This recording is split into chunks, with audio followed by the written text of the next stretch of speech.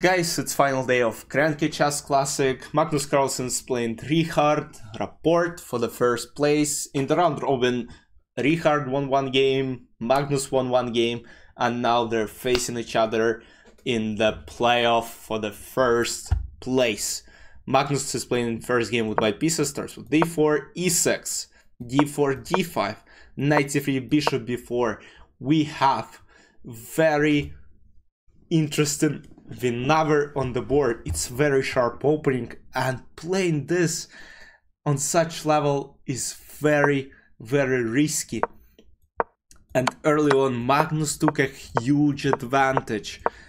Here in this position bishop e2 is played rook g8 a4 knight c6 queen h3 attacking h7 pawn h6 bishop h5 and Magnus has an advantage. Knight e2 g6, bishop g4, h5, bishop f3. Look, dark squares are really bad. Knight f5 and Magnus plays g4, which is the main line in this position. h take g4, bishop g4, and after castle bishop f5. Our commentators Trent Lawrence and Anish Giri said that very unpleasant position comes to reach his hands because these dark squares are insanely weak. And Magnus even plays nasty king d2 protecting the c pawn so he can move his knight somewhere. But the point is now he can't do that because pawn on d4 will be hanging after the spin. So queen f3 knight d8 bishop f6 rook h6 knight h4 knight e6 h5 and after g5 I think h5 was a huge mistake because it allowed g5 to happen and the point is after queen takes f5 it looks like white took a pawn but there is knight g4 attacking this queen and also threatening to take and simply take on c3 after and here actually queen has nowhere to go and only move is this this and black are winning.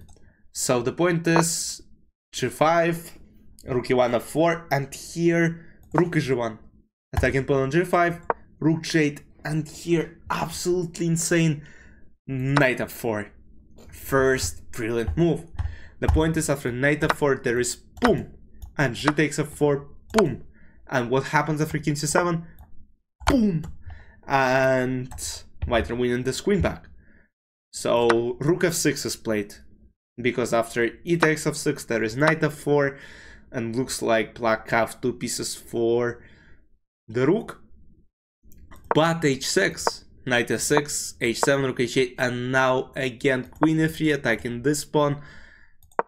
Queen d8 and now magnus plays rook g5 another brilliant move.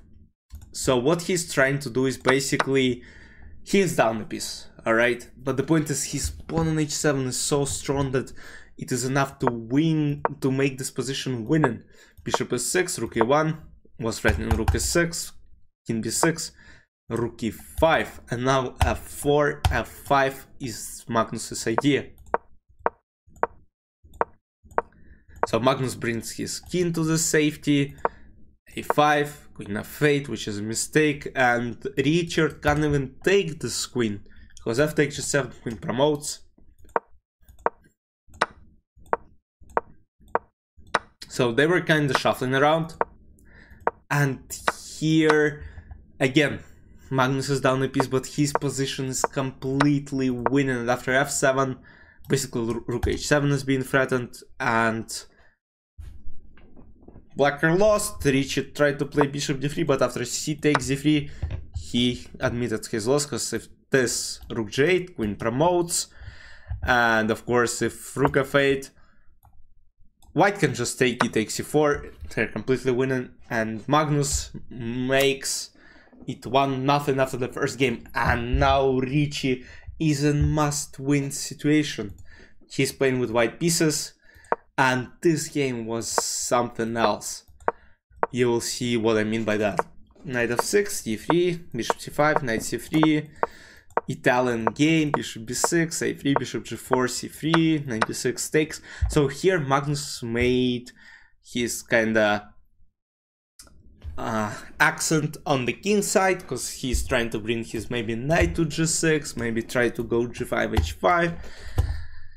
And basically knight to7, h3, bishop e6, bishop a4, bishop d7, bishop c2, knight g6, castle. He decided to castle short, kind of make it a bit safer, but soon he found himself in absolutely huge trouble because after d4, queen d3, rook a5, queen d3, and e5, rook f6 has been threatened. And it's very unpleasant for black as they have to find some, you know, defensive maneuvers. e takes d5, g6, c4, and now Magnus is completely lost. Magnus Carlsen needs only a draw and he is absolutely lost. Because Rich is up a pawn, he has absolutely huge targets here Knight on f6 is not really good. Rook a6, queen f3, attacking this knight again, and again king g7, and here Richie finds absolute killer g6. Rook d6, c5. And the point is bishop c6 is the only move which keeps position alive. Bishop c6, queen f2, rook e6, and here bishop b3 is played. The point is there is knight g4, let's say queen e7 and here after knight f6 there is rook e2 again it's very complicated stuff. Basically after rook g2 queen g2 bishop g2 king g2 white are winning? Because though black have queen rook they have less pieces and the position is so dominant for white pieces that that would have been winning. But if rook c2 happens there is just this and basically d5 at some point and Black are in huge trouble, d5, queen c3, the game is just over. But Richard couldn't find it. He plays bishop d3, g5, rook f5, bishop e4, bishop e6, takes, rook e5, bishop d3, rook d1.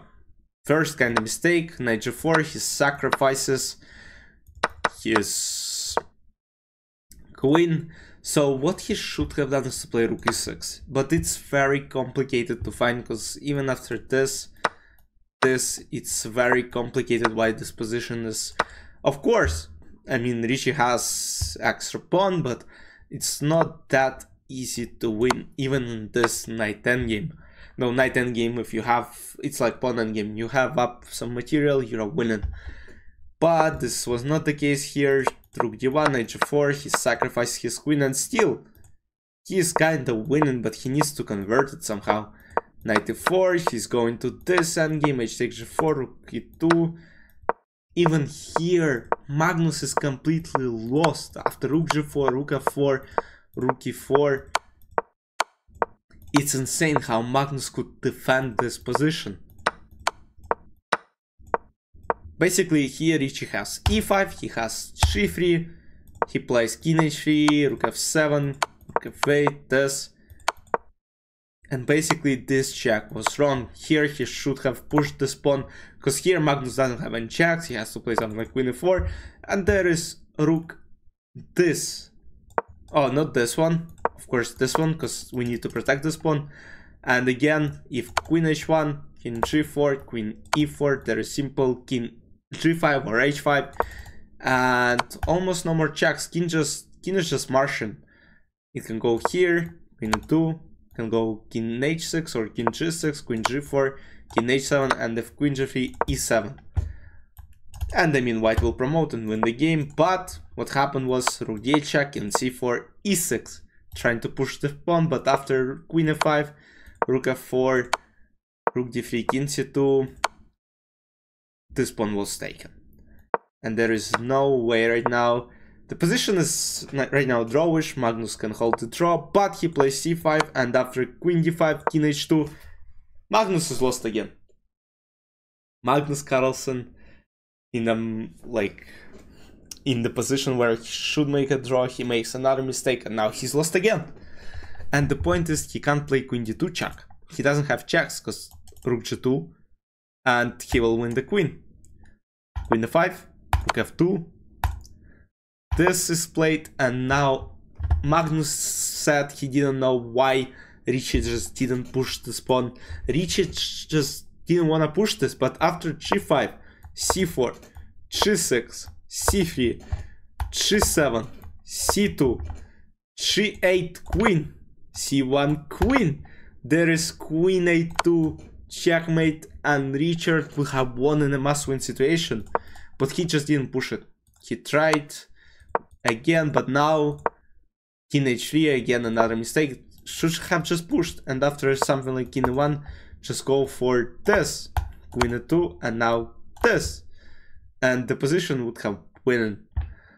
But instead very soon Richard Rapport repeated moves against Magnus Carlsen and Magnus wins his sixth tournament in a row. This guy is just on another level. He's trying to change formats. He's played freestyle chess and he's still beating everyone. He's winning every single top tournament and he's the winner of Grenke Chess Classic 2024. But in tomorrow's video, I'll tell you about the winner of an open section. And this winner makes it very interesting if Magnus is going to play next year or not. You might already know who the winner is. If you don't know, come to tomorrow's video. But I'll see you in the next recaps tomorrow. Bye bye.